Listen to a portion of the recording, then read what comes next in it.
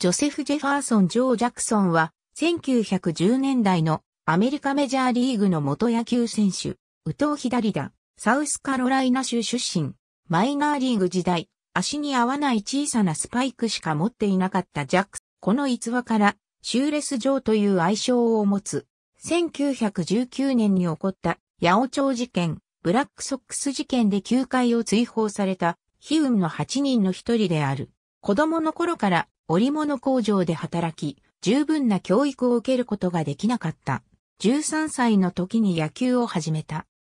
1908年にフィラデルフィアアスレチックスと契約し、同年8月25日に18歳でメジャーデビュー。しかしフィラデルフィアでの2年間はチームに馴染めず、ほとんどをマイナーリーグで過ごした。タイ・カッブとジョー・ジャクソン1910年、クリーブランドナップスにトレードされる。同年にマイナーリーグで結果を残し、メジャーに昇格すると、少ない打数ながら打率387を記録。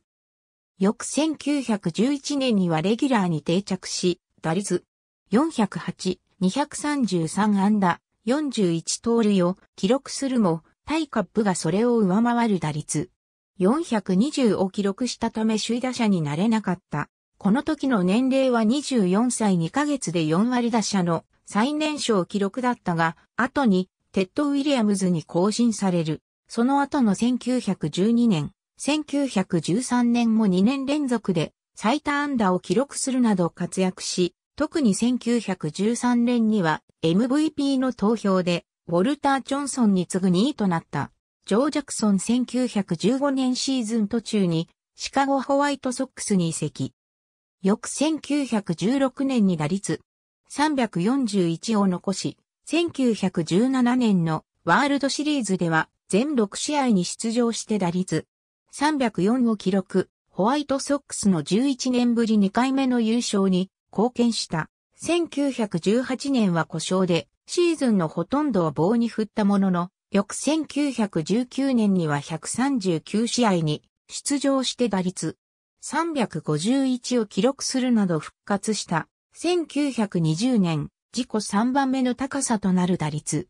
382、自己最高となる121打点を記録。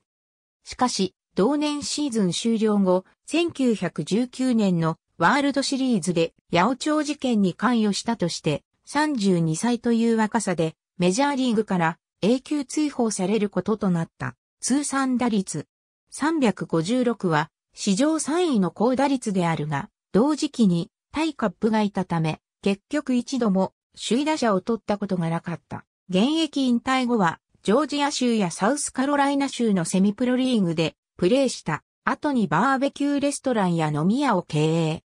1951年、翌日テレビで自身の無実を主張するはずだった12月5日に心臓発作で死去したジョー・ジャクソン詳細はブラックソックス事件を参照ジャクソンが本当に八百長に関わっていたかどうかについての議論は尽きない。問題のシリーズでジャクソンは打率375無失策チーム唯一の本塁打を打っている。一方、第一戦でバックホームを大暴投している。また、本気の彼なら5割を打っていたという主張もある。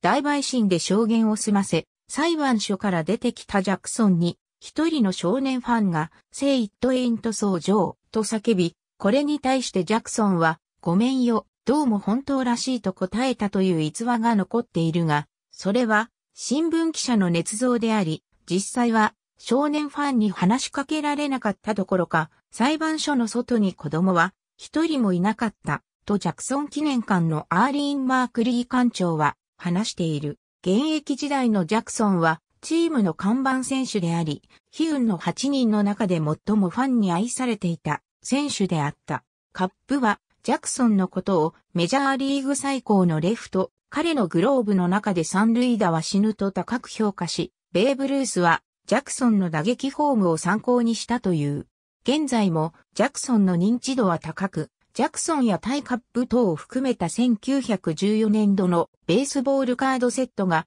オークションで80万ドルで、また直筆サイン入りバットが13万7500ドルで落札されたことがある。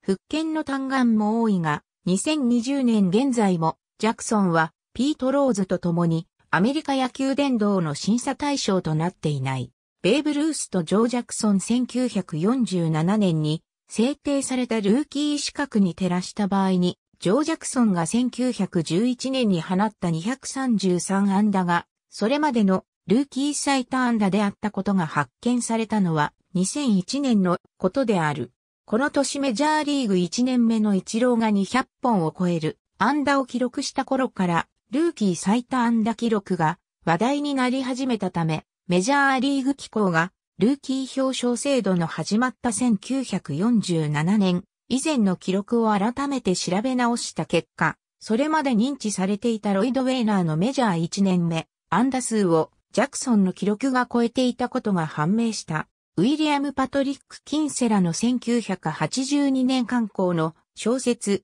シューレス・ジョー及びその映画化作品、フィールド・オブ・ドリームスに、ジョー・ジャクソンは登場する。アメリカ合衆国のミュージシャン、元クリーデンス・クリア・ウォーター・リバイバル・ジョン・フォガティの1985年のアルバムタイトル曲、センターフィールドの2番の歌詞において、有名なベースボールポエム、KC 打席に立つの一節、ウィリー・メイズ、タイ・カップ、ジョーディ・マジオといった殿堂入り中堅手の名前とともに、ブラックソックス事件における有名フレーズ性、It ain't so Joe が Don't say it ain't so として引用されている。ちなみに、フレーズだけで名前は登場しないジョー・ジャクソンは左翼手だった。2013年のメジャーリーグのドラフト会議において、ひ孫のジョー・ジャクソンがテキサスレンジャースから5巡目で指名されている。ありがとうございます。